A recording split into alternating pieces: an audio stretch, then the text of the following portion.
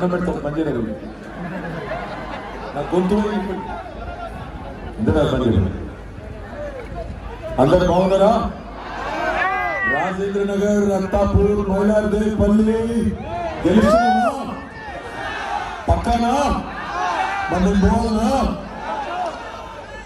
గౌరవనీయులు పెద్దలు స్థానిక శాసనసభ్యులు అన్న ప్రకాష్ గౌడ్ గారు జర అవి దించండి ఎన్కోలో కనబడతలేదు అవి దించుంది అవి దించుంది ఎన్కోలో కనబడుతుంది గౌరవనీయులు స్థానిక పార్లమెంట్ సభ్యులు స్థానిక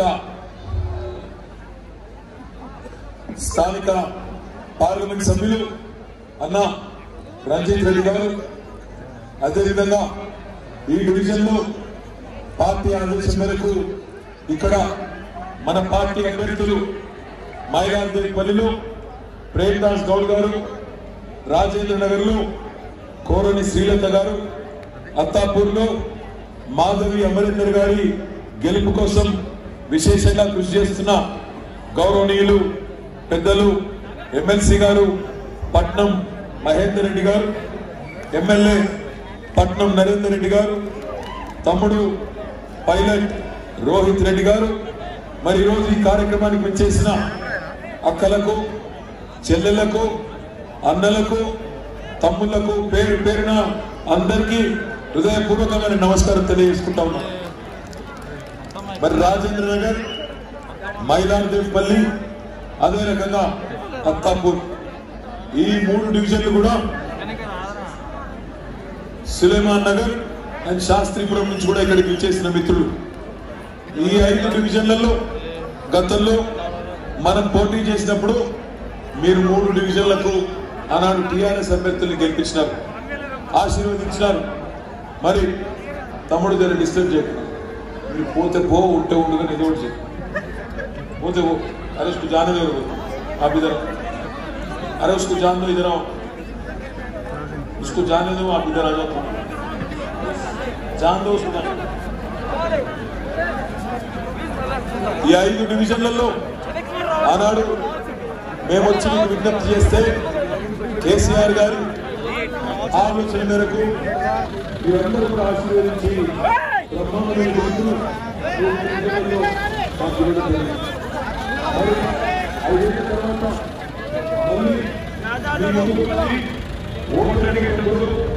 ఏం చెప్పవలసిన బాధ్యత నా మీద ఉన్నదని నేను అనుకుంటా ఉన్నాను. ఈ ఐదేళ్ళ కిందట దయచేసి ఆలోచించేయండి. ఐదేళ్ళ కిందట ఆనాడు ఎన్నెన్ని మాటలు ఎన్నెన్ని అనుమానాలు మన మనసులో ఉండేది ఒకసారి గుర్తు చేసుకోండి. తెలంగాణ వస్తే కరెంట్ ఉండదని ఒక ఆయన. తెలంగాణ వస్తే తెల్లారి వస్తే పంచాయతీలు అవుతాయి. ఆంధ్ర తెలంగాణ పంచాయతీ హిందూ ముస్లిం పంచాయతీ అని ఇంకొక ఆయన. తెలంగాణ వస్తే కొత్త పెట్టుబడులు కాదు. ఈ కాకినాడ ప్రాంతంలో ఉన్న వాళ్ళు కూడా వెళ్ళిపోతారు ఇచ్చిపెట్టని చెప్పి రకరకాల ప్రచారం రకరకాల పుకార్లు ఆనాడు మన మీద చేసినారు. కానీ ఈ ఒక్కసారి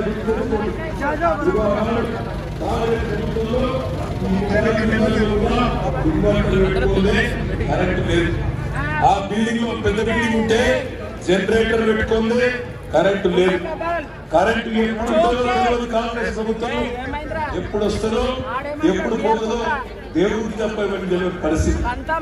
అట్లాంటి పరిస్థితి నుంచి ఈ తెలంగాణ ప్రభుత్వం వచ్చిన తర్వాత కేసీఆర్ గారి నాయకత్వంలో ఈ కార్పొరేట్ ఏరియాలో ఉండే పరిశ్రమలు మూడు షిఫ్టుల్లో పని చేసుకోవడానికి. మూడు షిఫ్టుల్లో అవసరమైతే కడుపు నిండా కార్మికులు పనిచేసి కడుపు నిండా తినేదానికి నాలుగు ముద్దలు నోట్లో పోయేదానికి ఇరవై నాలుగు గంటల కరెంట్ ఇచ్చింది కేసీఆర్ ప్రభుత్వమా కాదా? ఒక్కసారి ఆలోచన చేయండి. ఇళ్ళకు ఇరవై నాలుగు గంటలు ఫ్యాక్టరీలకు ఇరవై నాలుగు గంటలు వ్యవసాయానికి కూడా ఇరవై నాలుగు గంటల కరెంట్ ఇస్తున్న ఏకైక రాష్ట్రం భారతదేశంలో తెలంగాణ మాత్రం. మంచినీళ్ళ విషయం గుర్తు తెచ్చుకోండి. రాజేంద్ర నగర్ నియోజకవర్గంలో మంచినీళ్ళ పరిస్థితి.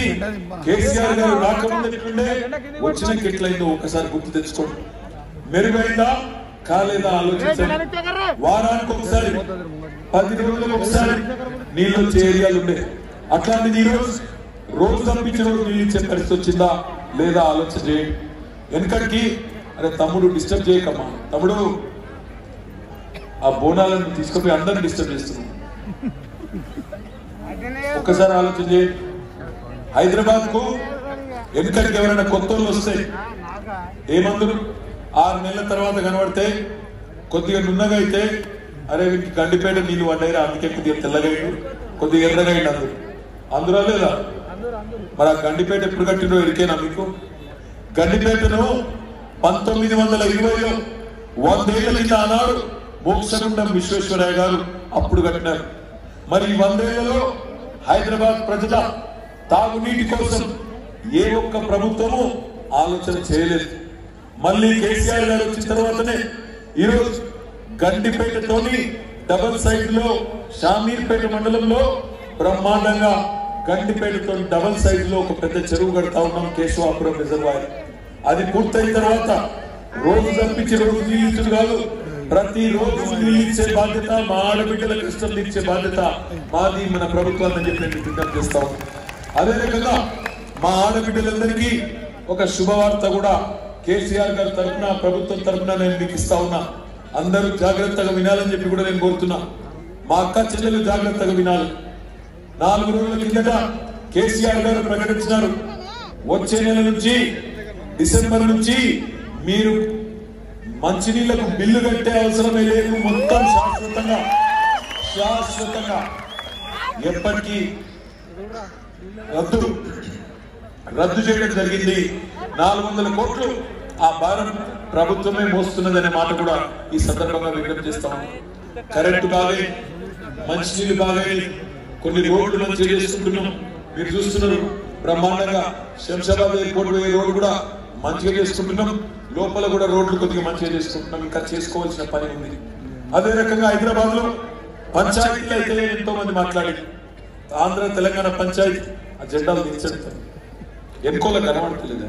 ఎన్కోల కనబడతలేదు? దించు ఎన్కోల కనబడతలేదు పని. ఆంధ్ర తెలంగాణ పంచాయతీలు హిందూ ముస్లిం పంచాయతీలు ప్రశాంతంగా ఉన్నది హైదరాబాద్. ప్రశాంతంగా ఉంది కాబట్టి ఈరోజు పెద్ద పెద్ద కంపెనీలు వస్తూ ఉన్నాయి. ఒక అమెజాన్ కంపెనీ వచ్చినా యాపిల్ కంపెనీ వచ్చినా ఫేస్బుక్ వచ్చినా గూగుల్ వచ్చినా ఎందుకు వస్తున్నాయి హైదరాబాద్కు ఉత్తగానే వస్తుందా? ఆలోచించుకొని ఇక్కడ మంచి పిల్లలు ఉన్నారు ఉద్యోగాలు చేసే దమ్మున్నోళ్ళు ఉన్నారు టాలెంట్ ఉన్నది వాళ్ళకు హైదరాబాద్లో ప్రశాంత వాతావరణం ఉన్నది మంచి గవర్నమెంట్ ఉన్నది కాబట్టి వస్తున్నారు వాళ్ళు. మరి మీరు ఆలోచన చేయండి. ఇవాళ మేమేమో టిఆర్ఎస్ పార్టీ తరఫున ప్రేమ్దాస్ కానీ ప్రేమ్దాస్ గౌడ్ కానీ శ్రీలత కానీ అదే రకంగా మాధవి అమరేందర్ మీకు గెలిపించమని అడిగేటప్పుడు మేము చెప్తున్నాం. ఐదేళ్ళు ఏం పని చేసినాం? మళ్ళా గెలిపిస్తే ఏం పని చేస్తామో చెప్తున్నాం. గల్లీ గల్లీలో సీసీ కెమెరాలు పెట్టుకున్నాం. ఎల్ఈడి లైట్లు పెట్టుకున్నాం. ఇలా హైదరాబాద్లో శాంతి భద్రతలకు డోకా లేదు. పేకాట క్లబ్ లేదు. కుటుంబ గబ్బు లేదు. ఆకతాయి ఆగడం లేవు. పోకిరీల పోకడలు లేవు. అల్లర్లు లేవు. మత కల్లోలాలు లేవు. ప్రశాంతంగా ఉన్నది హైదరాబాద్. పేదవాడికి ఆకలైతే ఐదు రూపాయలకే భోజనం పెట్టే అన్నపూర్ణ ఉన్నది. సుస్థి చేస్తే బస్తీ దవాఖాన ఉన్నది. పెళ్ళి చేసుకుంటే కళ్యాణ లక్ష్మి షాదీ ముబారక్ ఉన్నది. బిడ్డ పుడితే కేసీఆర్ కిట్ ఉన్నది. బిడ్డ కొద్దిగా పెద్ద పెరిగితే బ్రహ్మాండంగా రెసిడెన్షియల్ హాస్టళ్ళలో లక్ష ఇరవై రూపాయలు లక్ష ఇరవై వేల రూపాయలు ఆ పిల్లోడి మీద ఖర్చు పెట్టి చదివించే సర్కారు ఉన్నది. ఇంకొద్దిగా పెద్దగా నేను విదేశాలకు పోయి చదువుకుంటా అంటే బ్రహ్మాండంగా ఇరవై లక్షల రూపాయలు ఇచ్చి Ambedkar overseas scholarship Jyotiba Phule scholarship కింద విదేశాలకు కూడా పంపించే మనసున్న ప్రభుత్వం తెలంగాణలో ఉన్నది. మన నన్ను చెప్పమంటే ఇంకో గంట సేపు చెప్తాను ఒక్కొక్క స్కీమ్ చెప్పమంటే చాలాసేపు చెప్పొచ్చు. మరి మా మీద పోటీ చేస్తున్నారు కాంగ్రెస్ మిత్రులు బీజేపీ మిత్రులు. మరి వాళ్ళు కూడా చెప్పాలి కదా. ఏం చేసిందో చెప్పాలి చెప్పి ఓటు అడగాలి. చెప్తలేరు ఏమంటున్నారు? వాళ్ళు నేను మొన్న కిషన్ రెడ్డి అని అడిగిన. కిషన్ రెడ్డి అన్న మరి మేము పని చేసినాం ఓటు అడుగుతున్నాం నువ్వేం చేసినావు? నీ ప్రభుత్వం ఏం చేసింది? ఆరేళ్ళలో నీ మోడీ గవర్నమెంట్ హైదరాబాద్ ఒక్క రూపాయి ఇయ్యలే. ఇది వాస్తవమా కాదా అని నేను అడిగితే కిషన్ రెడ్డి అని అంటాడు మీరు ఏం చేస్తే అట్లా మాకు కూడా ఇంతంత ఇస్తా ఉంది కదా అంటాడు. నేను అందుకే డౌట్ వచ్చి మొన్న మొత్తం లెక్కలు తీపించిన తీపిస్తే ఏం తెలియదు తెలుసా? ఇగో మనం జనరల్ స్టోర్ పోయి ఒక సబ్బు ఒక ఉప్పు పప్పు చింతపండు బ్రష్ పేస్ట్ కొన్నప్పుడు ట్యాక్స్ కడతాం. పోయిన ఆరేళ్ళలో తెలంగాణ ప్రజలు నాలుగు కోట్ల మందిని మనం కేంద్రానికి ఢిల్లీకి పన్నుల రూపంలో కట్టింది ట్యాక్సుల రూపంలో కట్టింది రెండు లక్షల డెబ్బై రెండు వేల కోట్ల రూపాయలు. రెండు లక్షల డెబ్బై రెండు వేల కోట్ల రూపాయలు. మనకు వాపస్ ఎంత వచ్చిందో తెలుసా మీకు? కేవలం లక్ష నలభై వేల కోట్లు మాత్రమే అంటే రూపాయి ఇక్కడ నుంచి పోతే వాపస్ వచ్చింది ఆటాన మాత్రమే మళ్ళీ మీదికెళ్ళి వాళ్ళు వస్తారు అమిత్ షా గారు వస్తారు పోజులు కొడతారు हमने आपको एक लाख करोड़ रुपया दिया याद के लिए दिया నువ్వే ఆటానే ఇష్టమైన నేను అదే అడుగుతున్నా ఇచ్చింది లేదు సచ్చింది లేదు రోజులు మాత్రం జోరు కొడతారు సొమ్ము మనది సోపు ఢిల్లీది ఆలోచించండి గందరగోళం కాకండి मैं अमित शाह साहब से कहना चाहता हूँ लेन देन की बात आती है लेने देने की बात आती है तो दिया तेलंगाना ने लिया आपने एक लाख तीस हज़ार करोड़। जो तेलंगाना जनता का टैक्स का पैसा है, वो आज आपने लिया। आप खर्च कर रहे हो।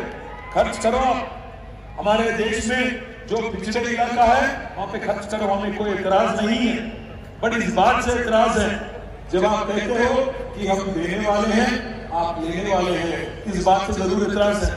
तेलंगाना को हमने कुछ नहीं किया।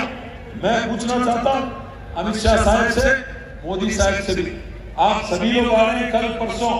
एक बल्दिया इलेक्शन में एक टीआरएस पार्टी के साथ लड़ने के लिए दस बारह केंद्र मंत्री, दो मुख्यमंत्री, अमित शाह साहब, प्रधानमंत्री साहब, सभी लोग बल्दिया में लड़ने आ रहे हैं।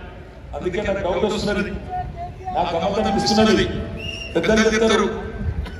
సింహం ఎప్పుడు సింగల్ గానే వస్తుంది. ఒక్కడే. కేసీఆర్ ఉద్యమం ప్రారంభించినప్పుడు ఒక్కడే. ఈ రోజు కూడా ఒక్కడే ఒక్కడిగానే వస్తున్నాడు. వాళ్ళేమో గుంపులు గుంపులు గుంపులు గుంపులు గుంపులు గుంపులు ఏమొస్తాయి గుంపులు గుంపులుగా? నేను అనలేదా? అన్నారు.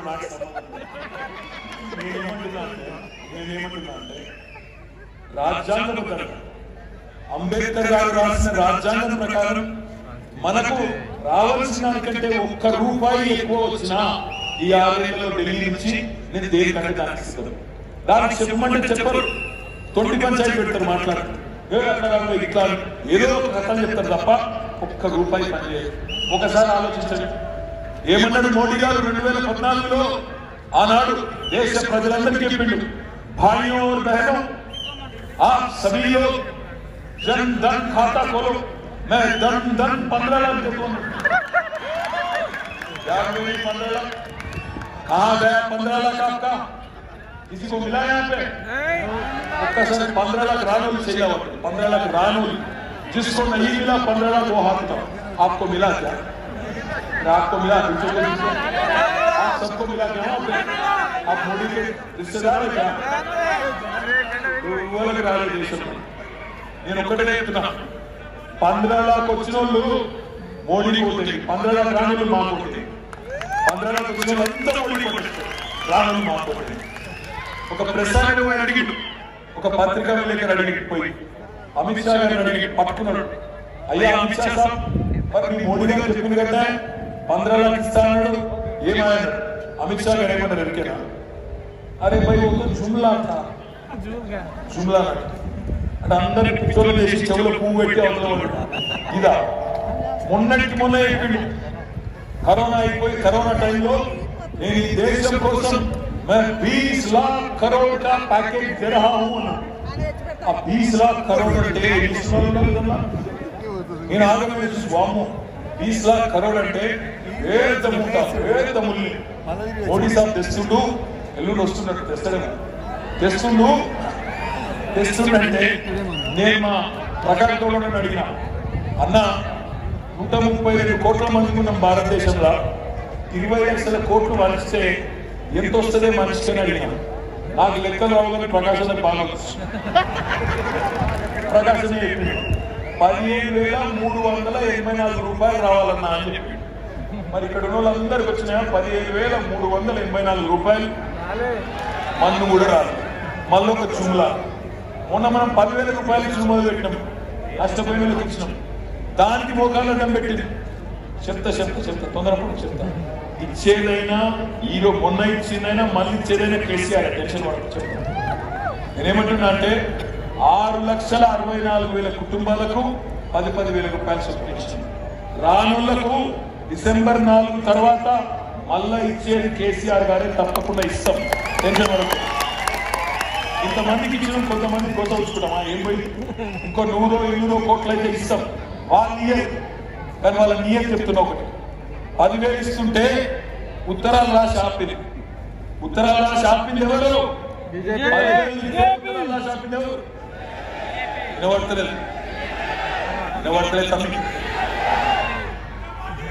పదివేలు ఇస్తుంటే ఆపింది. ఇప్పుడేమో వాళ్ళు ఇరవై ఐదు వేలు ఇస్తారు ఇక కాంగ్రెస్ వాళ్ళు ఇరవై ఐదు వేలు అంటే అర్నా స్పాట్ లెక్కనే ఉండదు. వాడు యాభై వేలు ఇస్తారు పదివేలు ఆపిన ఇరవై ఐదు వేలు ఇస్తాడు. అమ్మ కన్నం పెట్టిన చిన్న బంగారు కాదు చేస్తారా ఏమన్నా మాట్లాడుతూ నమ్మేటట్టున్నాను ఇక ఒక కొత్త ఆయన వచ్చింది బీజేపీలో మార్కెట్లో. ఇక ఆయన నోటికి మొక్కాలి. బండి. పోతే బండి ఫ్రీ. కారు పోతే కారు ఫ్రీ. ఇల్లు పోతే ఇల్లు ఫ్రీ. మనిషి పోతే మనిషి దండం పెట్టాలి నోరు ఏది నావే. ఇచ్చినావు మొన్న బెంగళూరులో నీళ్ళు వచ్చినాయి. ఆడికి ఇచ్చినావా ఇల్లు పోతే ఇల్లు ఫ్రీ కారు పోతే కారు ఫ్రీ. ఆ నీళ్ళు ఇక్కడనే ఇస్తారు మళ్ళీ ఒక జుమ్లా. జుమ్లే పే జుమ్లా. జుమ్లే పే జుమ్లా. అంటే ఆగం కాకుండా ఎవరు ఉన్నారు? ఆ రేటు మీతోని. మీ కష్టం నష్టం ఎవరున్నారు? ఇక్కడ కాకినాడలో చచ్చిపోతే నీళ్ళు వస్తే చెరువు జరిగితే పల్లె చెరువు. ఎవరు వచ్చి బియ్యపడవాడు వచ్చినా కేంద్ర మంత్రి దిగినా దిగే ప్రకాశ్ రావు ఉన్నాడు దిగే గదే. మనమే ఉన్నాం తప్ప వాళ్ళు ఎవరు లేరు. నేనేమంటున్నా అంటే వాళ్ళు ఇలా టూరిస్ట్ వస్తున్నారు ఢిల్లీకి all political tourist from Delhi welcome రండి. పది మంది పన్నెండు మంది మంత్రులు రండి. బ్రహ్మాండంగా వచ్చి మా హైదరాబాద్ బిర్యానీ తినండి. సంతోషంగా మళ్ళీ వాపస్ వండి మాకు ఇబ్బంది లేదు. కానీ వచ్చేటప్పుడు ఉత్త చేతులతో ఊపుకుంటూ ఊపుకుంటూ రాకూడదు. ఆ వరద సహాయం ఆ కేసీఆర్ గారు ఏదైతే అడిగిందో మా పేద ప్రజల కోసం పదమూడు వందల యాభై కోట్ల రూపాయలు తీసుకొని రండి. రాకపోతే ఖచ్చితంగా నిలదీస్తారు. అడుగుతారు. ఎందుకు ఇయ్యరు మాకు సహాయం కర్ణాటక వరదలు వస్తే నాలుగు రోజు ఆరు వందల అరవై తొమ్మిది కోట్ల రూపాయలు ఇస్తారు. గుజరాత్కు వరదలు వస్తే ఐదు వందల కోట్లు ఇస్తారు. కానీ తెలంగాణకు వస్తే మాత్రం గుడ్డ పైసలు అందుకే ఆలోచించండి. ఆలోచించి ఓటేయండి ఆటం కాకండి వాళ్ళకి తెలిసి ఒకటే ఒక విద్య. డెవలప్మెంట్ మీద మాట్లాడమంటే మాట్లాడరు. పోయిన ఆరేళ్ళు ఏం మళ్ళీ గెలిపిస్తే ఏం చేస్తామంటే చెప్పరు వాళ్ళకి తెలిసి ఒక్కటే ఒక్క విద్య ఏంటిది హిందూ ముస్లిం హిందూ ముస్లిం హిందూ ముస్లిం పంచాయతీ పెట్టాలి హైదరాబాద్ పంచాయతీ చూడద్దు వీళ్ళని ఎట్లన్నా ఇచ్చగొట్టి నాలుగు సీట్లు నాలుగు ఓట్లు తెచ్చుకోవాలి ఇదే ఇచ్చిన ఆలోచన ఒక్కటి కాదు పిల్లలు రెచ్చగొడుతున్నారు ఏ మీరు ఆనుకుంట్లో ఉంది నలుగురికి బండి మీద ఉంది హెల్మెట్ లేకుండా తిరగండి చాలా మంది మేము కడతాం జేహెచ్ఎంసీలో నడిపిస్తాం చాలా మంది పెడతారు జేహెచ్ఎంసీ రోడ్లు వేయాలి మూలు వేయాలి పార్కులు కట్టాలి స్పోర్ట్స్ కాంప్లెక్స్ కట్టాలి పిల్లలను చూసుకోవాలి కానీ చూడాలి కానీ చాలా మంది పెడుతుంటారు జేహెచ్ఎంసీ? దయచేసి ఆలోచించండి ఆలోచన ఎట్లాంటి హైదరాబాద్ కావాలి? తెల్లారి లేస్తే పంచాయతీ పెట్టుకుని హైదరాబాద్ కావాలా? లేదా అభివృద్ధి చేసుకుంటూ పేదవాడిని కడుపులో పెట్టుకుని చూసుకునే కేసీఆర్ ప్రభుత్వం కావాలని ఆలోచించండి. ఆగం కాకండి ఉద్వేగాలు ముఖ్యం కాదు ఉద్యోగాలు ముఖ్యం పిల్లలు ఇక్కడనే హైదరాబాద్లో ఐటీఐఆర్ మంజూరు చేసిపోయింది. కాంగ్రెస్ ప్రభుత్వం దిగిపెట్టడం ఆ ఐటీఐఆర్ రద్దు చేసింది మోడీ ప్రభుత్వం. ఏ మోడీ గారైతే ఉద్యోగాలు లేకుండా ఈరోజు మన ఐటీఐఆర్ రద్దు చేసినో ఆయన మళ్ళీ మన పిల్లలు రెచ్చగొడతా ఆయన పార్టీ రెచ్చగొడతా ఇది మంచి కాదు. ఉద్యోగాలు కాదు ఉద్యోగాలు కావాలి. మతం కాదు. జనహితం ముఖ్యం. వాళ్ళ విధానం విద్వేష నగరం మన విధానం విశ్వనగరం. మనకు వాళ్ళ తేడా అది.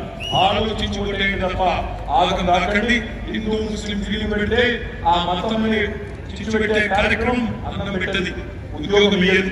తిండి పెట్టది. మన పిల్లల్ని బాగా చూసుకోదు. ఎలాంటి హైదరాబాద్ కావాలి? మన పిల్లలు బయటకు పోతే ఎక్కడ ఖర్చులు ఇరుక్కుంటారో భయపడే హైదరాబాద్ కావాలన్నా మళ్ళా బ్రహ్మాండంగా ఇంటికి ఏ ఇబ్బంది లేకుండా ఉంటుంది భద్రంగా ఉంటుంది అని హైదరాబాద్ కావాలన్నా ఆలోచించండి. ఈ మతం పేరు మీద చిచ్చు పెట్టే వాళ్ళని తిప్పి కొట్టండి వాళ్ళు ఎవరైనా సరే. ఇంకో పిచ్చోడు ఆయనేమో ఇంటరాముల సమాధులు కొడతాడు. ఒకడు ఇండియా సమాధులు కొడతాడు ఇంకోటి రాంగ్ రూట్లో పోమంటాడు. ఈ మతం పిచ్చోళ్ళని పట్టించుకోకండి. టీఆర్ఎస్ పార్టీ అభ్యర్థులని బ్రహ్మాండంగా పెద్ద మెజారిటీతో గెలిపించి డిసెంబర్ ఒకటి నాడు బల్దియాకు పంపించండి. తప్పకుండా పేద ప్రజలకు ఇచ్చిన ప్రతి హామీ నిలబెట్టుకుంటాం. మా అక్క చెల్లెలు అనుకుంటారు. అన్ని మంచిగానే చెప్పింది కానీ ఇంకా డబల్ బెడ్రూమ్ ముచ్చట చెప్పాయి అనుకుంటున్నాం తప్పకుండా ఇస్తాం.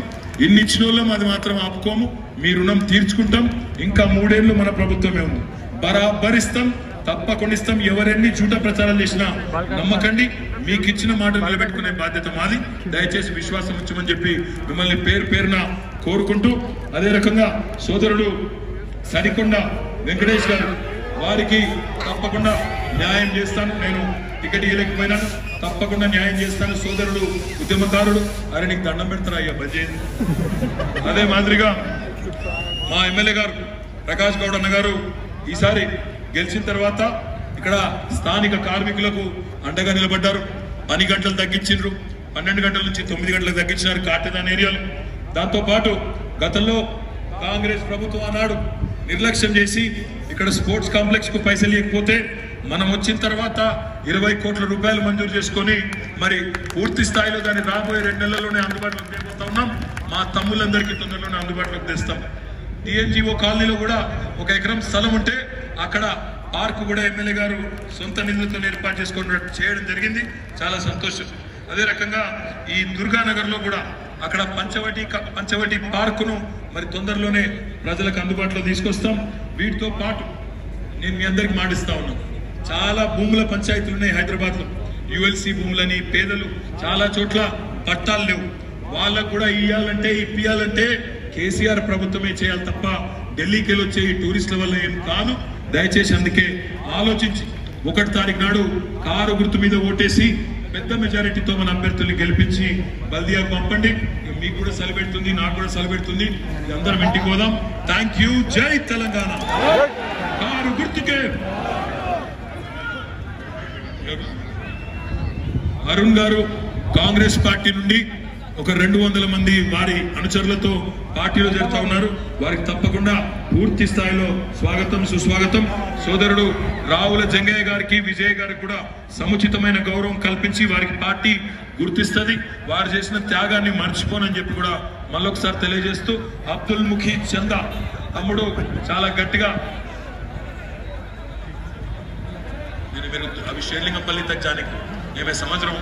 मेरे को शेरलीकंपल्ली तक जाने का दौर मीटिंग है। मलोकसार मे अंदर की पेर पेरना दंड मेड़ो तो पक्का गेल गेल पिड़के पिड़की पिड़की आ पैन के सबको देख रहा हूँ मैं। जय तेलंगाना। कार गुर्त के। गति का लगा कार गुर्त के। केसीआर गारी